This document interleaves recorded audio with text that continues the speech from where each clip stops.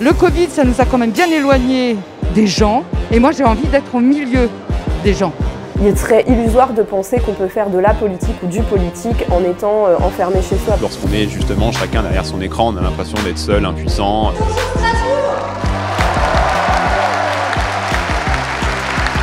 Quel avenir pour ces grands rassemblements politiques physiques On n'est pas des êtres numériques, c'est faux. Jean-Luc Mélenchon, c'est pas un perdreau de l'année en politique. Est-ce qu'on peut s'en passer, tout simplement?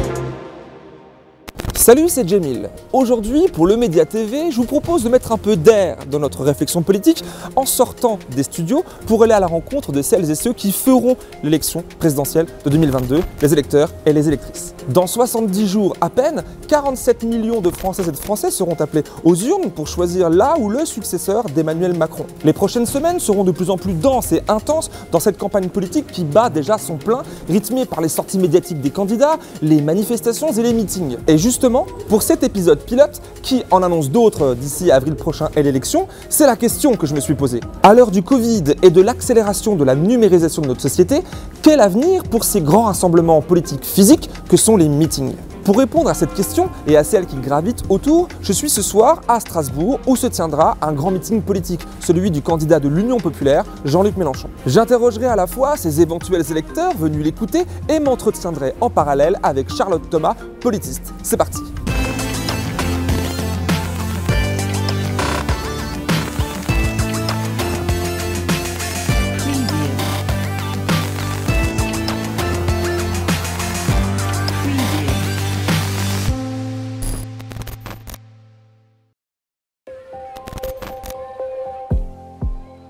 Bonjour Charlotte Thomas. Bonjour. Alors on a vu la France Insoumise avec son candidat Jean-Luc Mélenchon remettre le couvert des grands meetings physiques à la fois traditionnels mais aussi innovants sur la forme. On l'a vu là il y a quelques jours euh, euh, à Nantes mais aussi cette semaine euh, à Strasbourg pour enchaîner jusqu'au scrutin d'avril. Les autres candidats à l'Elysée aussi s'adonnent à leur manière à cet exercice qui semble incontournable encore de nos jours. Qu'est-ce qui explique cela?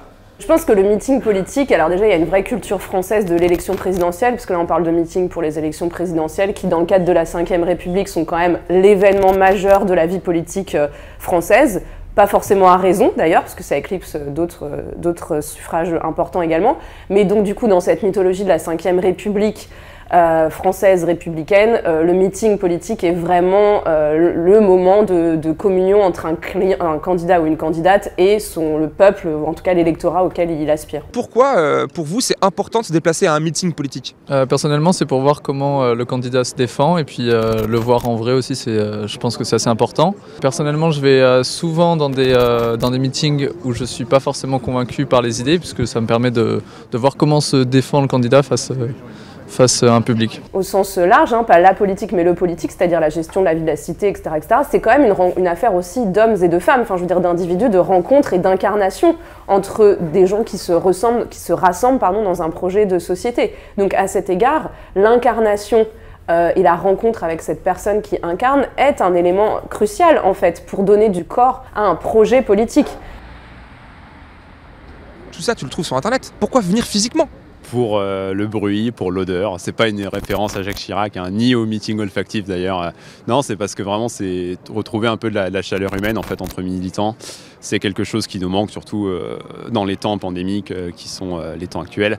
Donc voilà, je pense que le, meeting c'est un moment en fait de ressourcer, de, retrouver une, une, espèce de force politique qui nous manque tous lorsqu'on est justement chacun derrière son écran. On a l'impression d'être seul, impuissant peut-être euh, peut-on être encore euh, un petit peu euh, actif grâce aux méthodes numériques, mais on n'a pas le sentiment en fait de force collective qui émane de, ces grands moments de rassemblement. Moi personnellement, je suis déjà convaincu par Jean-Luc Mélenchon, donc je viens pas pour chercher une conviction, je viens juste chercher en fait cette espèce d'appel au combat qui est nécessaire à 80 jours du scrutin.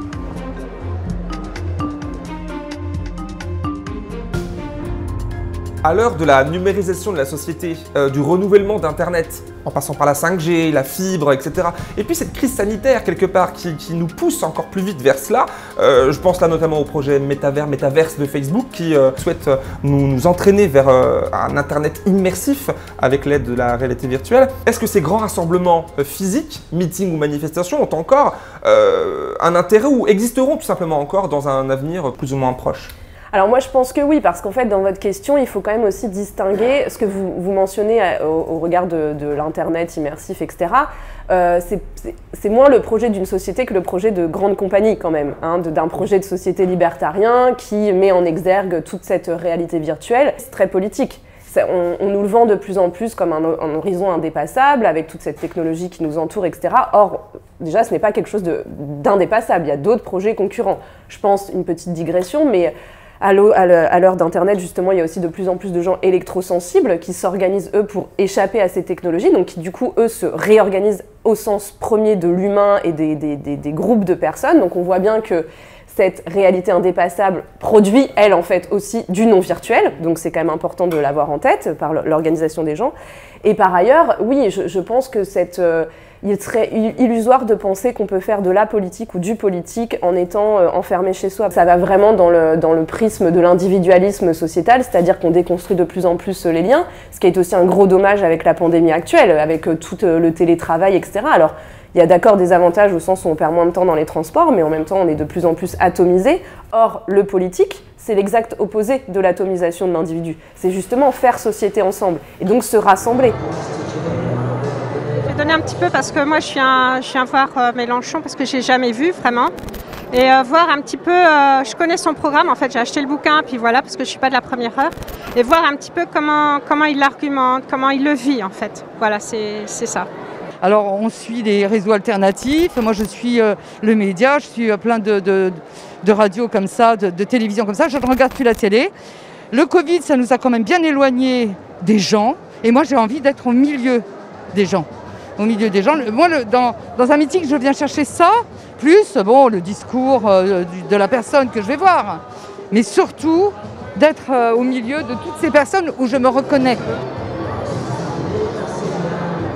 Auprès de- d'électorats euh, de gauche, euh, il faut aller créer du lien social en fait et, justement lutter contre cette atomisation qui est aussi liée sur euh, plus d'une quarantaine d'années maintenant avec la déconstruction des liens professionnels, syndicaux, etc., les nouvelles formes d'emploi qui ont aussi eux atomisé l'individu. Donc le politique, a fortiori, selon moi, c'est l'exact opposé à cette ère d'internet massif qu'on veut nous faire prendre, enfin croire comme indépassable, il est plus qu'indispensable de garder le lien et de garder de la chair, quoi. Et d'aller tracter aussi sur les marchés et tout un tas d'autres activités euh, de lien.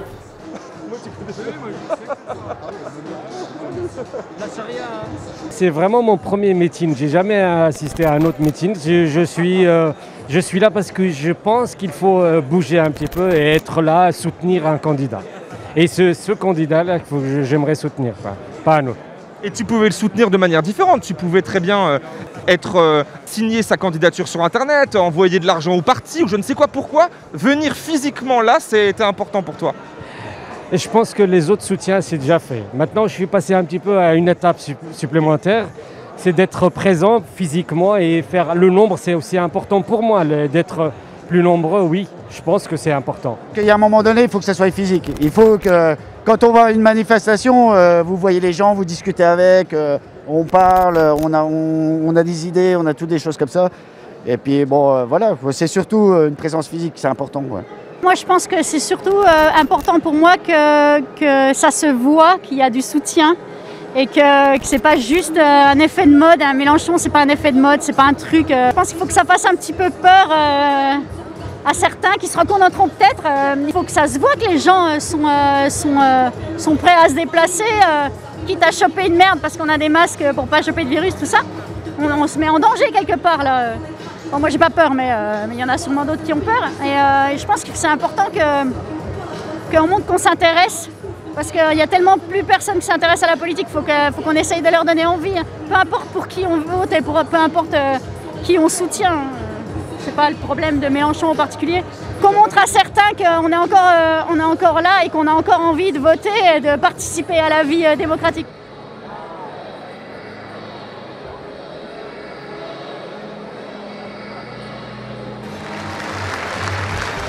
Bonjour à toutes et à tous, bonjour Strasbourg On a senti que vous étiez un peu, un peu chaud là dans la salle, qu'il y a de la vigueur. Eh bien, sachez que vous n'êtes pas les seuls, Parce que non seulement il y a du monde ici dans cette salle et elle est pleine, on a dû ouvrir une seconde salle qui a été pleine. Et il y a aussi des gens dans le hall. Et vous êtes tellement nombreux. Et un signe qu'on va et qu'on peut gagner. Je vous annonce qu'aujourd'hui à Strasbourg, nous sommes plus de 2500 personnes réunies pour ce grand meeting de l'Union populaire. Non, là voilà. C'est l'émotion qui me fait rester la première page.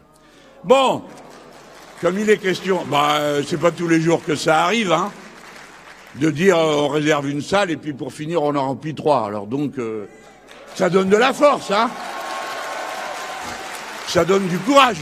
Alors en reparlant de Jean-Luc Mélenchon, justement, on accorde très souvent, que ce soit dans son camp ou dans les camps adverses, son, le fait qu'il ait un talent, ce talent oratoire de, tribun, le fait de devoir posséder ce talent-là, en fait, le fait d'avoir ce, talent de, de, savoir se vendre, d'incarner quelque chose, un programme, un personnage charismatique présidentiel, est-ce que c'est pas là un jeu médiatique quelque part qui viendrait nous éloigner du fond politique enfin, Alors oui et non vraiment, hein, je, je, viens de Normandie mais c'est une réponse de Normand, euh, mais pour le, pour le coup c'est oui et non au sens où, comme je le disais tout à l'heure, par exemple Macron est aussi quelqu'un, enfin Emmanuel Macron est aussi quelqu'un qui a beaucoup, euh, euh, qui est beaucoup mis en avant pardon, sur, pour ses capacités oratoires. Alors déjà des capacités oratoires ça s'apprend. C'est pas, alors il y a des, des, talents, etc. innés, mais c'est aussi euh, quelque chose qu'on apprend au fur et à mesure des meetings, des campagnes, etc. Voilà, qu'on travaille. Jean-Luc Mélenchon, c'est c'est pas un perdreau de l'année en politique. Donc il a fait quand même beaucoup de campagnes et il s'est exercé à ça. Il a fait comme tout le monde. Il a appris, on il a progressé, etc. Euh, et pour Macron, c'est pareil. Il vient aussi d'une formation qui est Sciences Po et l'ENA où on apprend la rhétorique, où, quand même une grande partie de la formation, pour la connaître un tout petit peu, est liée aussi à la façon de, d'enrober nos idées et notre projet. Donc tout ça, ça s'acquiert d'une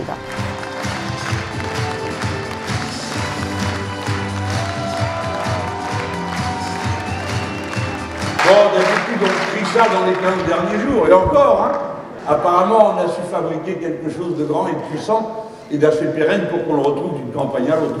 Pour vous, est-ce que euh, l'incarnation euh, de Mélenchon sert ou dessert une campagne finalement? Euh, bah moi je pense que plutôt au contraire ça sert car il a une personnalité très forte et qui rappelle un peu vraiment la personnalité du, du français moyen même s'il a un haut niveau d'études et qu'il a qu'il appartient à une catégorie socio-professionnelle du coup d'intellectuels, il a quand même un parler qui est assez normal, un parler qui est banal et qui euh, rappelle en fait aux, Français moyens son quotidien. Je ne sais pas si vous avez entendu, mais pendant le meeting par exemple, il adressé à la foule en disant euh, Vous voyez les gens, et il nous, il, à nous, les gens, mais c'est une expression qu'on peut retrouver euh, dans la vie de tous les jours. Et euh, une fois qu'on a posé ça, euh, le danger euh, que vous pointez peut exister si ce talent oratoire n'est exercé que pour lui-même, c'est-à-dire, et là, sans encore une fois vouloir trop critiquer le président actuel, euh, on s'aperçoit qu'il est très très fort pour avoir une très belle parole, mais que ses paroles sont tout le temps, ont des revirements en permanence entre le Macron de 2017 et celui d'aujourd'hui. Alors le talent oratoire est toujours le même, mais le projet n'est plus du tout le même. Donc en fait, s'il n'y a pas de loyauté à ses propres idées, c'est quand même un peu problématique. Premier écueil. Second écueil, on peut être fidèle à ses idées, mais il faut en avoir. C'est-à-dire qu'il y a des gens qui maîtrisent aussi la parole politique sans avoir de contenu, sans avoir de projet politique. Il y a quelques candidates euh, qui appellent en ce moment à l'union, qui parlent très très bien, mais que, quel est le projet en fait? Et à, à partir de ça, c'est le second écueil, c'est-à-dire quand le talent oratoire éclipse le contenu politique, ou l'absence d'ailleurs de contenu politique et de projet, c'est là où ça devient un danger pour la démocratie en fait. Est-ce que vous imaginez euh, demain une, une démocratie justement avec moins de leaders, moins de... ou alors il y aura quand même besoin de représentation? Comment vous imaginez ça? Non, bah, j'espère qu'on pourra aller vers ce genre de transition. Sincèrement, j'espère qu'on ira vers une réelle démocratie parce que c'est pas ce qu'on a aujourd'hui, même si c'est ce qu'on si ce qu'on veut avoir. C'est un combat qu'on mène depuis, depuis la Révolution française et c'est un combat qu'il faut encore mener. Mais oui, ça ne pourra pas se faire tant qu'on cherchera toujours à s'incarner derrière une personne parce qu'une personne ne peut pas sauver toute une société. C'est la société qui doit se sauver elle-même en se créant, enfin, en se donnant les moyens elle-même d'avoir le pouvoir la capacité oratoire à être capable d'amener un, public, un électorat, disons, en construction à son projet politique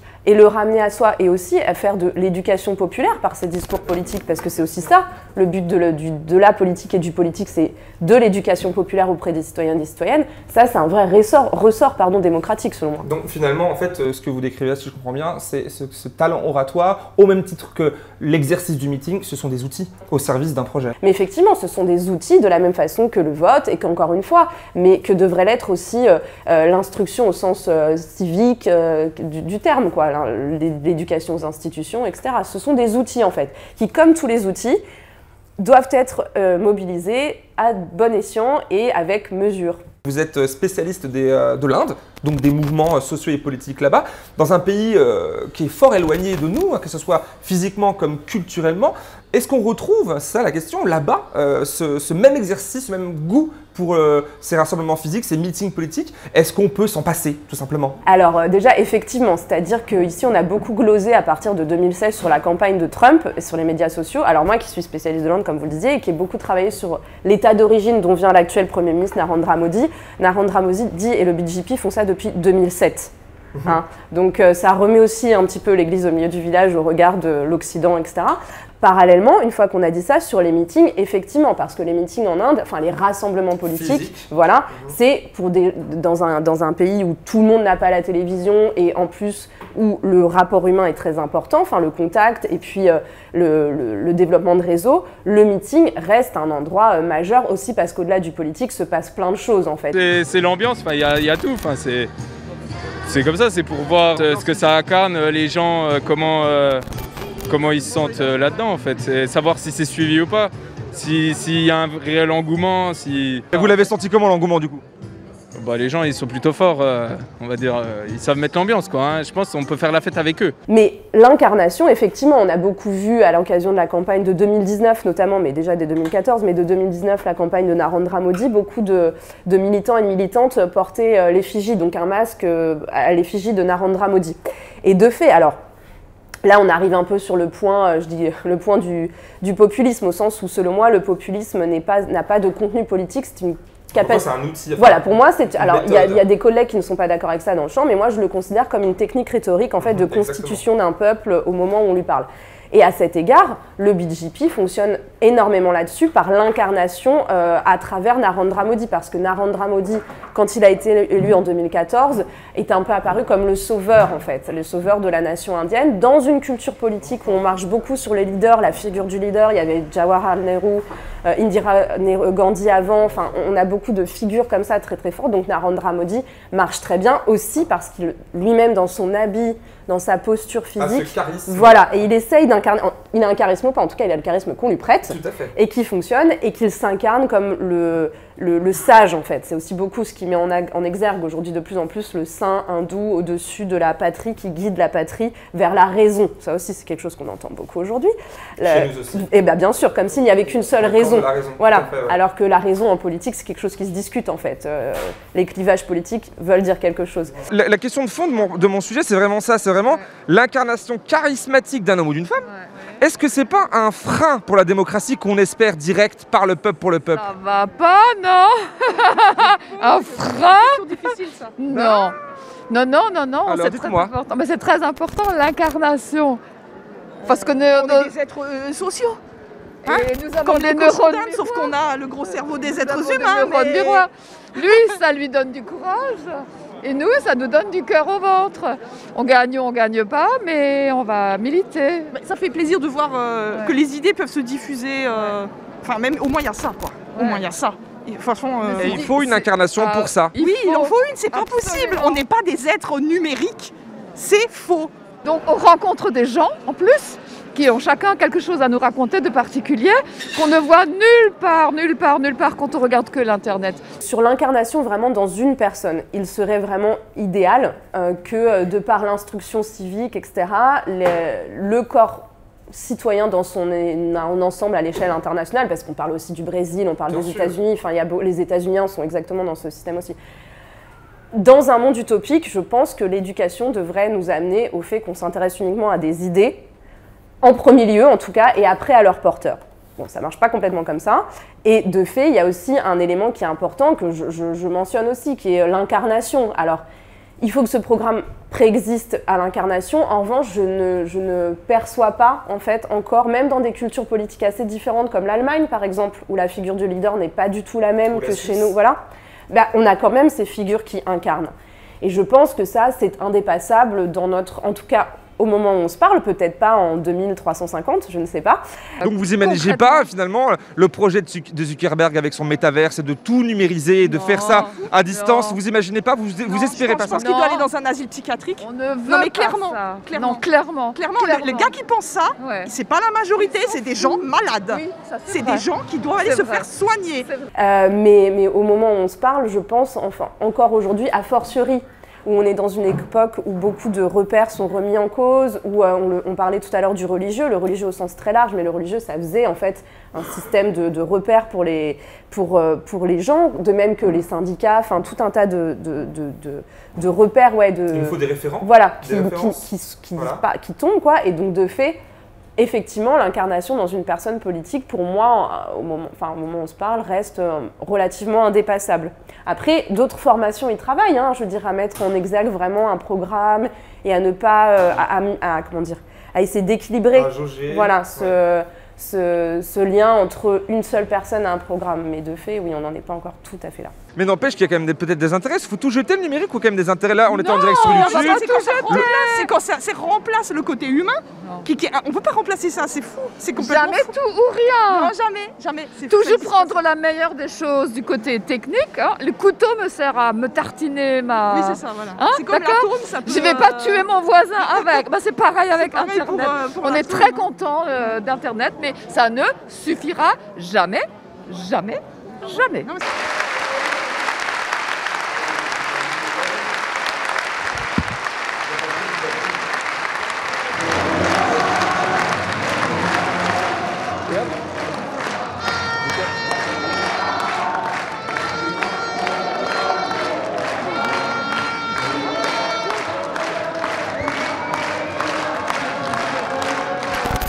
Merci d'avoir suivi cette vidéo, cet épisode pilote. L'espace commentaire est ouvert pour recueillir vos commentaires, vos réactions, vos retours que nous lirons avec attention. Si vous avez apprécié ce format, je vous invite expressément à le diffuser, à le partager, cette vidéo, du coup, autour de vous, dans vos réseaux, et bien évidemment à vous abonner. À vous abonner sur YouTube, là où les programmes du média sont et resteront accessibles gratuitement, mais aussi sur lemediatv.fr soutien. Vous abonner aux médias à partir de 5 euros par mois pour activement nous soutenir dans la production de ce genre de format et de tous les programmes que propose la chaîne. Le média, c'est votre média. Abonnez-vous et ou faites un don pour le soutenir et le porter haut. Quant à moi, je vous remercie pour votre confiance et vous dis à très bientôt.